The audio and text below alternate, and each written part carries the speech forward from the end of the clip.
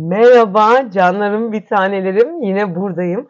Bu akşam arkadaşlarım yemeğe geliyorlar fakat yemek sonrası dediler ki bana Duygu böyle Dubai çikolatası çok meşhur viral oldu falan sen de yap dediler. Tabii ki normal Dubai çikolatası yapmayacağım. Ne yapacağım biliyor musunuz? Dubai çikolatalı cupcake yapacağım. Çok heyecanlıyım. Hadi bakalım hemen başlayalım. Hadi gelin. Dediğim gibi bu akşam arkadaşlarım böyle yemek sonrası güzel bir şeyler yiyelim falan dediler ve bana gelecekler.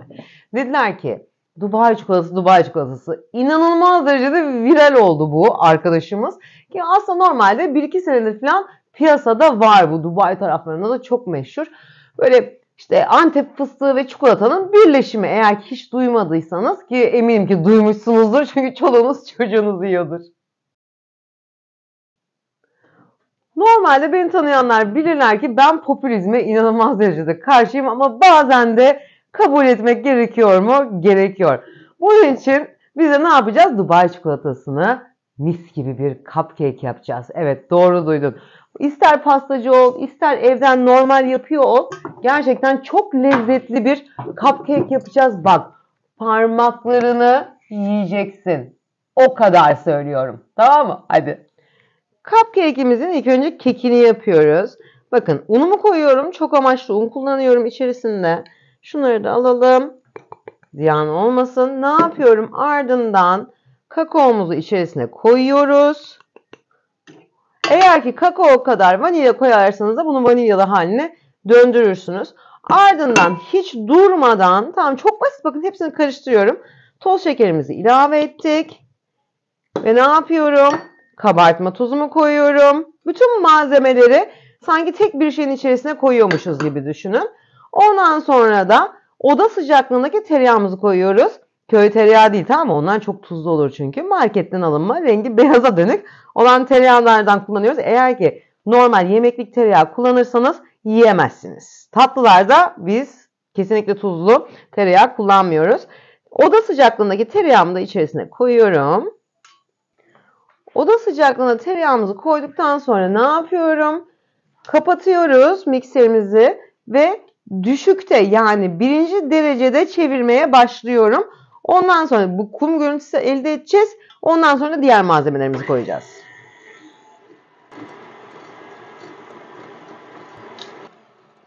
Kum görüntüsü elde ettikten sonra ne yapıyorum? Yine siz döndürmeye devam edin.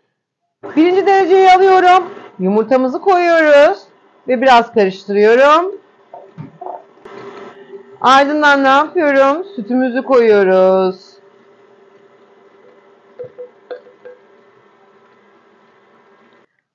Cupcake kalıbımızı alıyoruz. Bakın çok güzel 12'li, 9'lu bunların küçükleri de var. Onlardan da alabilirsiniz.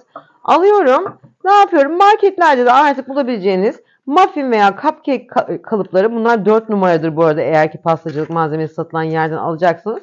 Ama marketlerdeki de zaten boyutları ortalama bu boyda. Çünkü bütün cupcake kalıplarına bunlar sığıyor. Yerleştiriyoruz. Cupcake kalıplarımızın dörtte üçüne şöyle yavaş yavaş koyuyoruz. Eşit bir şekilde bir parmak boşluk kalacak yukarıda. Bakın getirdim ve bir parmak boşluk bırakıyoruz. Hepsine kabaracak kadar alan veriyoruz yani. Dolduruyorum hepsini. Bakın hepsinde bir parmak boşluk bıraktım. Şimdi ne yapıyorum? Önceden ısıtılmış 175 derece fırınımızda Benimkisinde 20 tam tamına 22 dakikada pişiyor ama 20 dakikadan sonra kontrollü bir şekilde pişiriyoruz. Anlaştık mı? Burada en önemli şeylerden bir tanesi fanlıda pişireceksiniz. Bunu unutmayın tamam mı? Güzel bir şekilde kabarabilmesi için fanlı fırınımıza götürüyoruz. Hadi bakalım. Bakın çok güzel çıktı. Harikulade. Mis gibi de kokuyor. Şu güzelliğe bakar mısınız? Bir tane telin üzerine alıyorum ve telin üzerinde soğutmaya devam ediyoruz. Üst kremasını veya iç dolgusunu tamamen soğumadan hiçbir şekilde yapmıyoruz. Soğuması lazım yoksa hamurlaşır içi. Ama şöyle bir çakallık yapabilirsiniz. Bir 15 dakika artı 4'e buzdolabına koyabilirsiniz ama daha fazla değil. Anlaştık mı? Oda sıcaklığında bekletiyorum ben. Dubai çikolatalı cupcake'imizin şimdi iç dolgusunu yapıyoruz. Klasik kadayıfı aldık. Tamam mı? Getiriyorum. Ve güzel güzel kesiyoruz. Minnoş minnoş kesiyorum. Bakın hepsini minnoş minnoş kestim. Ve ne yapıyorum? Diğerlerini yanına bocalıyoruz. Burada tabamız var. Ne yapıyorum? Küçük parçaları ayırdığım kadayıflarımı koyuyorum. Ondan sonra tabii ki direkt böyle bırakmıyoruz. Getirdim. Üzerine eritmiş olduğum tereyağı isterseniz beraber de şey yapabilirsiniz. Hani ocak yoksa diyelim tamam mı? Öğrenciler de seyrediyor çünkü biliyorum. Küçük bir fırında da bunu yapabilirsiniz. Ne yapıyorum? Tabii ki yağ ilk önce karıştırdıktan sonra direkt fırına böyle serip açıyorsunuz. Ondan sonra da fırında da bunu pişirebilirsiniz. İlk önce bütün tereyağıyla karıştırıyoruz. Bakın çok güzel bir renk elde ettik. Burada çok koyu değil bu hazırları var ya onlar çok koyu renkte. Sadece pişiriyoruz ki insanların midesi ağrımasın diye. Şöyle bak güzel bir karamel rengi elde ettik. Şimdi bunu bir kaseye alalım. Bir tane kasemize koyuyoruz bu minnoşumuzu. Bakın o kadar da güzel kokuyor ki. Dediğim gibi hem ocakta hem fırında istediğiniz yerde yapabilirsiniz. Şimdi elimde fıstık kreması var. Fıstık parçacıklı olanı kullanıyorum ben. Zaten artık her yerde bulabiliyorsunuz. Burada 200 gram var ama kontrollü bir şekilde koyacağım. Tamam mı? Şöyle bir koydum. Ondan sonra ne yapıyorum? Alıyorum bunu. İlk önce bir karıştırıyoruz. Bakın karıştırmaya başlıyoruz kontrollü bir şekilde. Eğer az gelirse daha fazla eklememiz gerekir. Geri kalanını da boşaltıyorum içerisine. Hoppa. Oh mis gibi gelsin kaloriler. Alıyorum ve karıştırmaya devam ediyorum. Şimdi ne yapıyoruz? Parizyen bir kaşığım var. Parizyen kaşık budur. Bakın bu yuvarlak olan ama isterseniz çay kaşığıyla da yapabilirsiniz. Yani hiç fark etmez.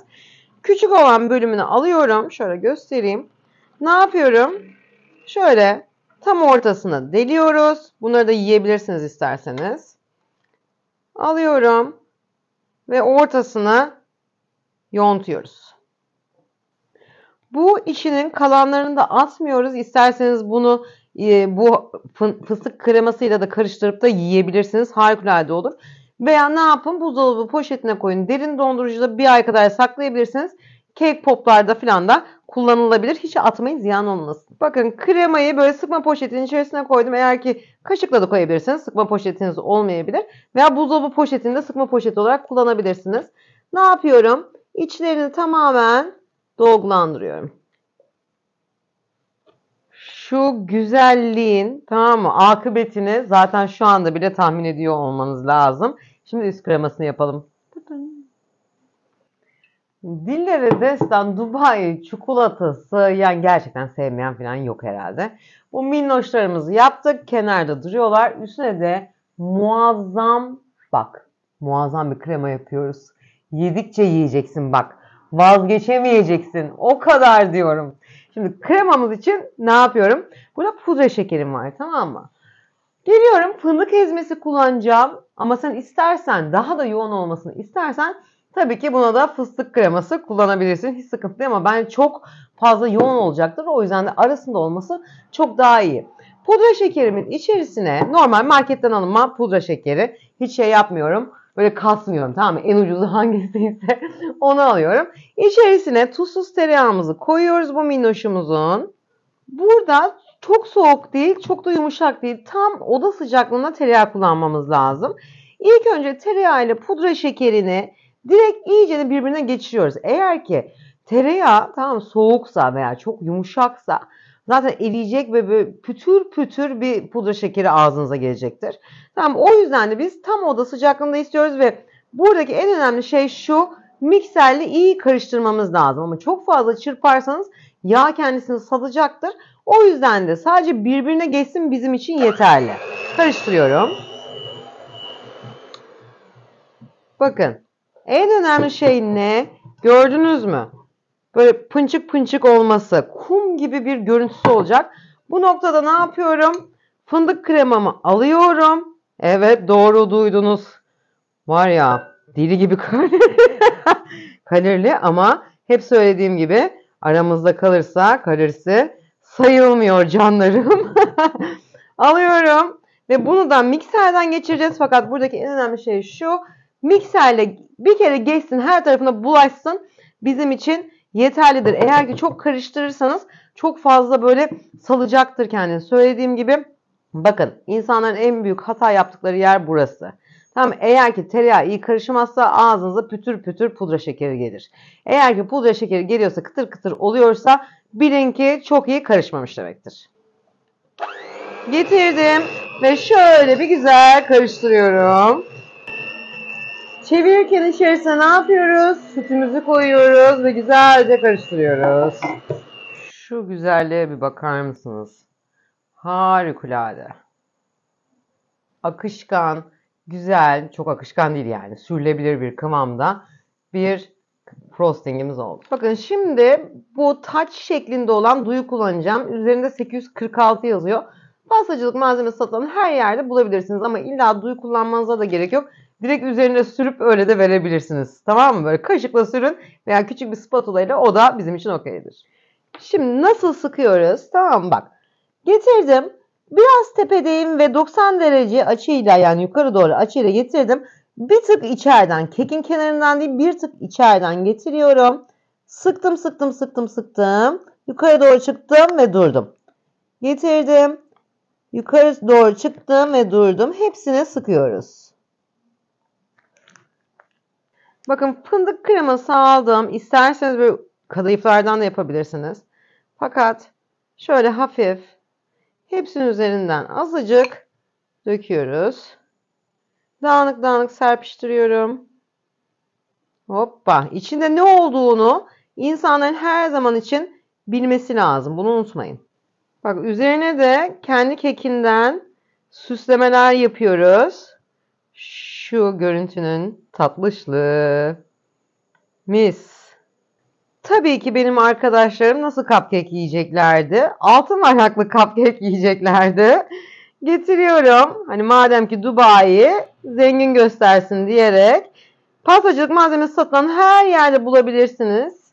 Aklınızda bulunsun. Getiriyorum ve hepsini de koyuyorum.